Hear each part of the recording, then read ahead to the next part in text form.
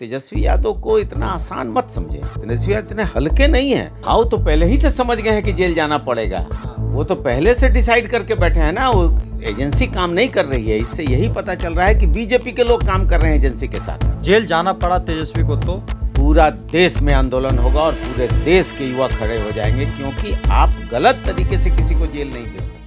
नमस्कार आप देख रहे हैं लाइव सिटीज़ मैं हूँ आपके साथ सौरभ राज। लगातार लालू परिवार के ऊपर सीबीआई ईडी की कार्रवाई हो रही है और जेडीयू मौन बैठी हुई है। बीजेपी वाले कह रहे हैं कि ये सारे साजिश तो जेडीयू का ही है। मेरे साथ जेडीयू के राष्ट्रीय महासचिव हर्षवर्धन सिंह हैं। लालू यादव उनके परिवार मुश्किल में फंस रहे हैं। बीजेपी कह रही कि ये सब जेडीयू का लीला है। देखिए इस महागठबंधन की मजबूती को देखकर जिस तरह से बीजेपी के लोग घर, नर्वस हो गए हैं, घबरा गए हैं। इसमें ये लोग इस तरह की साजिश कर रहे हैं, इस तरह की अफवाह फैला रहे हैं, तोड़ने की कोशिश कर रहे हैं और इसी कारण से ये सारी बातें कर रहे हैं। जेडीयू देखिए, लोकसभा से लेकर चारों तरफ़ इस बात का विरोध कर रही है और सिर्फ़ तेजस्वी यादव जी के लिए ही नहीं, या सिर्फ़ लालू परिवार के लिए पूरे देश में जो ईडी और सीबीआई का जो घनघोर दुरुपयोग हो रहा है जो तोता उनके हैं जो पायलट्स जो उनको उनके पास हैं जिसका दुरुपयोग वो कर रहे हैं उसके विरोध में लोग खड़े हैं और तेजस्वी यादव को इतना आसान मत समझें। तेजस्वी यादव इतने हल्के नहीं हैं कि तेजस्वी यादव को ऐसे ही लेके जो बीजेपी वाले कहते चल रहे हैं कि बंद करा देंगे जेल तो भिजवा देंगे। जेल भेज जाना पड़ेगा तेजस्वी यादव को बीजेपी वाले कह हाँ। तो पहले ही से समझ गए हैं कि जेल जाना पड़ेगा। हाँ। वो तो पहले से डिसाइड करके बैठे हैं ना वो एजेंसी काम नहीं कर रही है इससे यही पता चल रहा है कि बीजेपी के लोग काम कर रहे हैं एजेंसी के साथ। कि पहले ही आपको कैसे पता चल जा रहा है कि इनको जेल जाना पड़ेगा कि नहीं जेल जाना पड़ेगा? उनको तो कहना चाहिए कानून अपना काम कर रही है।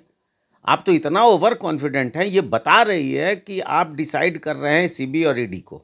आप लोग मन मन के अंदर आप लोग को लड्डू फूट रही है खुश हैं कि अब तेजस्वी यादव उधर चले जाएँगे कोई दबाव नहीं बनाएगा सीएम कुर्सी को लेकर के। तेजस्वी यादव और नीतीश कुमार जी के बीच इतना बढ़िया समन्वय है जिस पर इस तरह का अफवाह जो आप बात कर रहे हैं सौरभ जी ये आप बीजेपी की बात कर रहे हैं बीजेपी की तरह से की तरफ़ से आप ये बातें बोल रहे हैं। इतना अच्छा समन्वय है और इतनी अच्छी बात है इसमें कुछ नहीं है और ये लोग इतना आसान मत समझे।